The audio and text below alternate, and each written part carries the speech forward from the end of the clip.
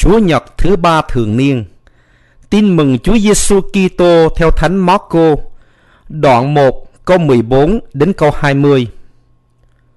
Sau khi Gioan bị bắt, Chúa Giêsu sang xứ Galilea, rao giảng tin mừng nước Thiên Chúa. Người nói, thời giờ đã mãn và nước Thiên Chúa đã gần đến. Anh em hãy ăn năn, sám hối và tin vào phúc âm. Đang lúc đi dọc theo bờ biển Galilea, người thấy Simon và em là Andre đang thả lưới xuống biển. Vì các ông là những người đánh cá.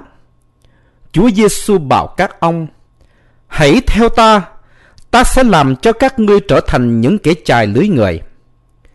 Lập tức các ông bỏ lưới theo người. Đi xa hơn một chút, người thấy Giacôbê, con ông Zebede và em là Doan đang xếp lưới trong thuyền. Người liền gọi các ông. Hai ông bỏ cha là GBD ở lại trên thuyền cùng với các người làm công và đi theo người. Đó là lời Chúa. Một người chỉ huy dàn nhạc hòa tấu rất bực mình với một số thành viên thiếu tinh thần giống thân của ban nhạc. Vì là ban nhạc amateur không chuyên nên mỗi buổi tập dược hòa tấu là thế nào cũng có ít nhất một thành viên vắng mặt. Cho nên việc lên kế hoạch để tổ chức cho một chương trình hòa nhạc luôn gặp khó khăn. Trong buổi diễn tập cuối cùng, anh chỉ huy dàn nhạc muốn kêu gọi tinh thần giống thân hơn của các thành viên ban nhạc. Anh nói, Tôi chân thành cảm ơn anh nghệ sĩ đàn violon của ban nhạc chúng ta. Anh là thành viên duy nhất tham dự tất cả các buổi tập dược. Các anh chị cần noi gương tinh thần dấn thân vì nghệ thuật của anh ta. Anh chàng nghệ sĩ violon mỉm cười bẽn lẽn và khiêm tốn nói với người điều khiển dàn nhạc.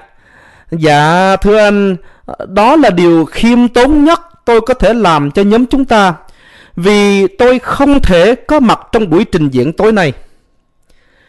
Thật là một sự dấn thân vô nghĩa. Đi tập dược không thiếu bữa nào, nhưng lại vắng mặt trong buổi trình diễn. Mà anh ta lại là tay đàn violon chính của ban nhạc. Tin mừng hôm nay trình bày cho chúng ta một nhóm người có một tinh thần dấn thân rất cao trong sứ vụ ơn gọi của họ.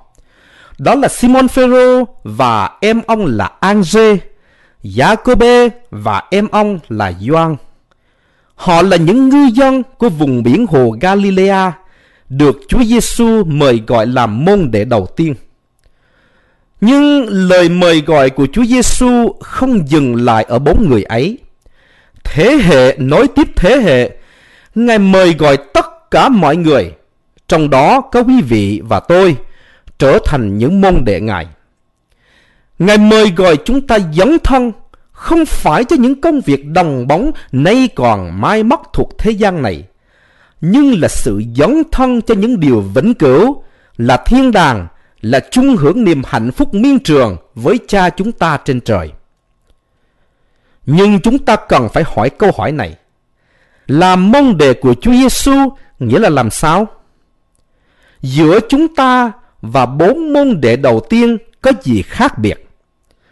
Liệu chúng ta có thể so sánh một vài đặc điểm của các môn đệ ấy chăng?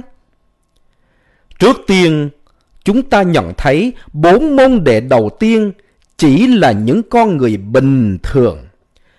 Các ông không được giáo dục chính thức nơi học đường. Các ông cũng không có bất kỳ sự hấp dẫn đặc biệt như đẹp trai, lịch lãm, cũng không có tài năng phi thường để được Chúa Giêsu chú ý trọng dụng. Họ chỉ là những ngư dân bình thường. Có lẽ chúng ta thường giả định sai lầm là Thiên Chúa thường mời gọi và chọn những người ấn tượng nhất, tài năng nhất, hấp dẫn nhất để làm những công việc của Ngài. Nhưng trong thực tế, chúng ta thường kinh nghiệm ngược lại những giả định của chúng ta về Thiên Chúa. Thiên Chúa mời gọi và chọn những con người bình thường, giống như những ngư dân, giống như những ai có tinh thần trẻ thơ, giống như quý vị và tôi để làm công việc của Ngài. Vì sao vậy? Thưa, vì chỉ có những con người tầm thường như vậy mới không cậy vào sức mình mà cậy nhờ vào sức Thiên Chúa. Điểm kế tiếp là chúng ta nhận thấy Chúa Giêsu kêu gọi bốn ngư dân là để dạy dỗ huấn luyện họ trước. Suốt ba năm ròng, họ sống trong sự hiện diện của Chúa Giêsu. Họ là các đệ tử của Chúa, ngày này qua ngày khác, chứng kiến những việc Chúa làm, nghe những lời Chúa giảng dạy, tráo dồi học hỏi những tư tưởng của Chúa. Điều đó cho chúng ta thấy là những người đi theo Chúa Giêsu cần phải phát triển đời sống tâm linh. Chúng ta không thể nào chỉ qua một đêm mà trưởng thành trong đời sống tâm linh được. Chúng ta thường nói là mài đúng quần trên ghế nhà trường để chỉ thời gian dài mà một học sinh phải trải qua. Cũng giống như vậy, đời sống tâm linh cần thời gian để phát triển. Một câu hỏi được đặt ra, làm thế nào để phân biệt giữa một cái cây vẫn còn sống và một đã chết? Câu trả lời là, cái cây mà nó đang phát triển là còn sống. Bởi vì bằng chứng duy nhất của sự sống là sự tăng trưởng. Đức Hồng Y John Henry Newman đã nói, sống là phải thay đổi. Để sống thánh thiện thì phải thay đổi luôn luôn. Phải thay đổi, phải phát triển trong đời sống tâm linh của mình. Rất nhiều Kitô hữu đi nhà thờ xem lễ đọc kinh, nhưng một số dường như vẫn còn non nớt trong đời sống tâm linh. Họ không phát triển, họ như cái cây đã chết. Sống thì phải thay đổi, phải phát triển.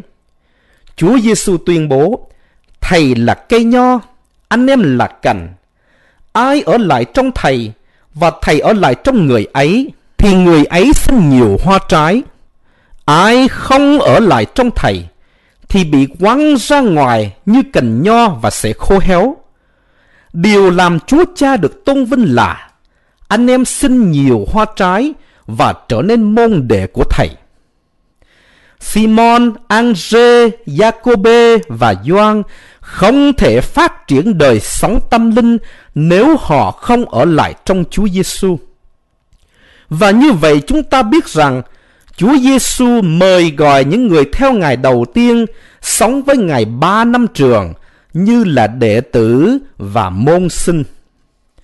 Trong sự hiện diện của Chúa, họ cần phải phát triển đời sống tâm linh. Chúng ta, những người bước theo chân Chúa, cũng không ngoài cuộc đâu. Chúng ta cần phải phát triển đời sống tâm linh trong sự hiện diện của Chúa. Điểm thứ ba, chúng ta nhận thấy rằng sẽ đến một thời gian khi bốn ngư dân sẽ không còn được gọi là môn đệ nữa, nhưng là tông đồ. Theo định nghĩa, môn đệ là những người được gọi đến, trong khi tông đồ là những người được sai đi. Chúa Giêsu đã truyền lệnh cho các môn đệ mang sứ mệnh tông đồ tiến vào giữa lòng thế giới để nhân danh Ngài mang lại hoa trái nước trời. Cũng giống như vậy, sẽ đến một lúc nào đó, chúng ta phải thay đổi từ vai trò môn đệ để trở thành tông đồ.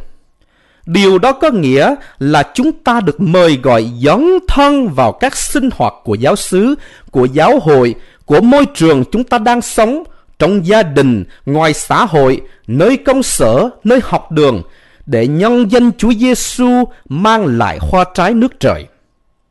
Khi Chúa Giêsu về trời, Ngài không còn ở với các môn đệ qua thân xác hữu hình con người nữa. Ngài muốn họ hiểu rằng bây giờ họ có các đặc quyền và trách nhiệm để tiếp tục công việc của Thiên Chúa. Và họ đã làm nhiệm vụ được trao phó rất tốt. Không giống như anh chàng đánh đàn violon trong câu chuyện ban đầu. Các môn đệ không những tham dự tất cả các buổi tập dược với Chúa Giêsu mà họ còn dấn thân trong các buổi trình diễn hòa tấu lời Chúa. Kính thưa quý ông bà và anh chị em, bốn ngư dân Simon, Andre, Jacobe và Gioan là những con người bình thường. Chúng ta cũng vậy. Họ được Chúa Giêsu gọi để trở thành môn đệ của Chúa. Chúng ta cũng vậy. Họ dấn thân trung thành với công việc tông đồ. Còn chúng ta thì sao? Xin cảm ơn toàn thể quý ông bà và anh chị em đã lắng nghe Linh Mục Phêrô Nguyễn Ngọc Linh